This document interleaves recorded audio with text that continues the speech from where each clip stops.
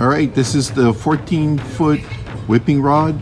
This is the newest one for the Hawaiian Custom Series. Um, targeted for the Big Island for uh, Hilo and Kona, going for that long distance akule bombing. 14 feet, guys. Impressive, 14 feet.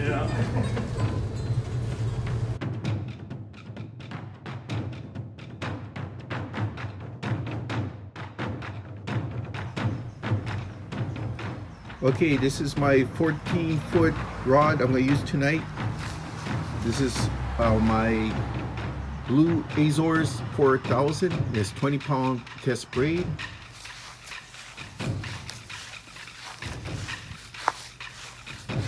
This is a very impressive long distance whipping rod. At the end, is going to be a uh, one ounce lead egg and it's I'm going to have a bead buffer and I'm going to have a snap swivel on that. So this way um, the bead will protect um, the line from getting chafed up by the lead. And the one thing you have to be careful about is you always make sure that the braid or mono line does not loop over the tip because if that happens and you try to cast you can actually snap that tip off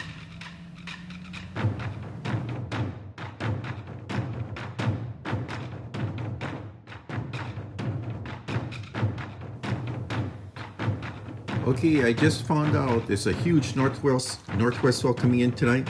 It's gonna be big, up to 20 feet. So I'm gonna try to get out tonight, but I probably won't make it in time. So I'm using my old setup from way back when. So I got some hooks. Some of them are sickle hooks. I got some um, extra glow flies. Got my swivels, different types of fluorocarbon line for leaders. I got um, better line now, so I'm gonna use this first and then I'm gonna use the better one later on. Got some evil eyes, some pre-made leaders, some um, beads. These are really, these are good. These are Aus Austrian bead crystals. And they actually, as soon as the light hits even starlight, they will glow. Okay, got some whipping leads, got some small um, hooks over here that um, really hold very well. These are hybrids that um, CHL, um, Landon Yamamoto made for me. And I got my regular glow grubs. Everything's all set for tonight.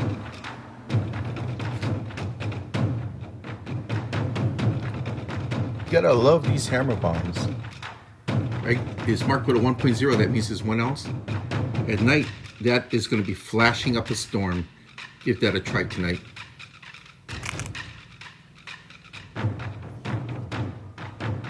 All right, guys, Batman has his utility belt. I have my utility lanyard. I use this around my neck at night. Nail clippers over here to cut line. Quick light over here, just to see really fast what's going on. And for my uh, glow grubs, I use UV light all at my fingertips. Aloha guys, this is Scuba Chris. Okay, on everything I got set up, that was uh, actually a video for almost half a year ago and I never finished it, so I'm just gonna go ahead and finish it on how to go for akule, which is scads from the shoreline. And I like to go at night, but sometimes you go during the day because they're here right now, late summer, they're in during the day. So this here is what I'm gonna need for making the leaders. It's more simplified what I showed before because what I showed before is everything you need and then you kind of pick and choose what you want, all right?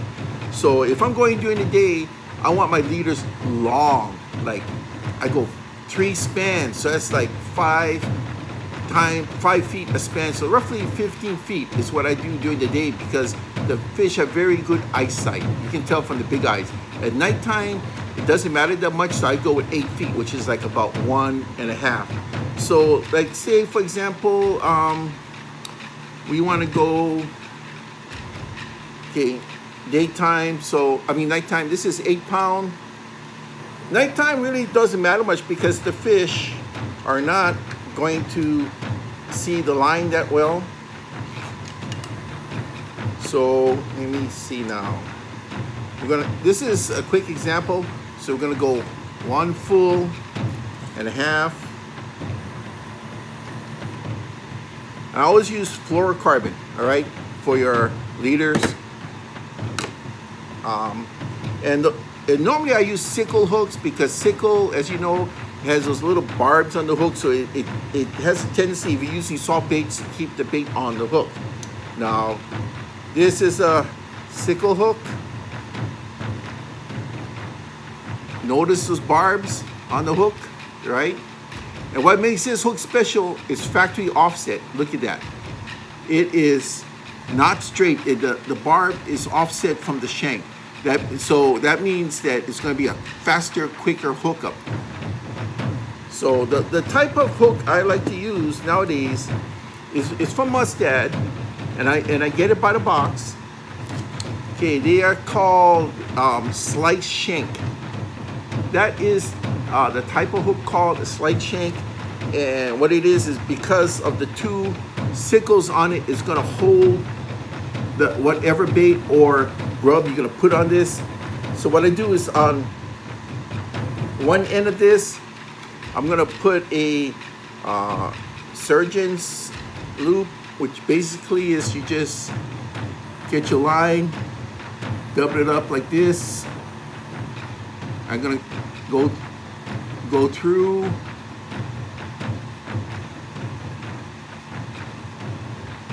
once twice, draw it up. That's it. I mean, it works. I, have caught big papios, which are jacks, with this, and this works. This is the part that goes to your your rig, okay? So on the end of this, here you go. Now before I tie on the hook, you can put beads. You can use uh, fluorescent green beads, which does help. I have these beautiful Austrian crystals. These are beautiful Austrian crystals. They, they, they it just glows like nothing else. Even in, at night, because it catches the starlight, it'll make it glow. Uh, or you can go with evil eyes. Get these from Asia. Um, they, they come for jury, so the evil eyes. So you know, you know they, during the daytime they help. The fish, the fish see that, but I, I like putting one red with one green. But this time I'm not gonna put any, but I'm just saying those do work, all right? So the only thing you have to do, use your favorite knot. I prefer Palomar because Palomar is so easy and it's so fast. So.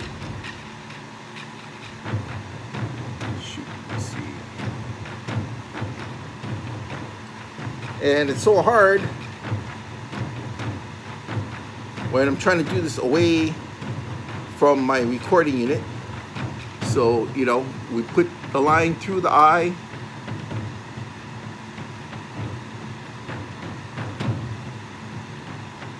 Ah. And the fact that this is very thin line is not helping. There. We put when we put the line back through, see that? Okay. It's easy to do this in your lap try to do this while looking towards the light over there and um, trying to do this on camera. So you just, okay, Palomar, the simplest, one of the strongest knots around. Make a loop, put the uh, loop towards the hole you just made, like so. See that? So now we got this loop here. You put the hook through that loop you just made. Boom, you're done. That's it. That is a Palomar, okay? That is a simple knot. It works very well for what we're gonna do. And you, you can wrap this around a piece of uh, cardboard like I do, like here. Works very well. That's it. That's, that's all you have to do. Takes me about a minute to do one of these correctly. It's no rush. For um, going at night, for scads, I like to use grubs. I like the CHL brand. These are the completely hooked lures by Landon Yamamoto. Um, this, these are some of my favorites. The Oh Baby. These are orange. They glow in the dark. These are um, named uh, Scuba Blues after me, also by CHL.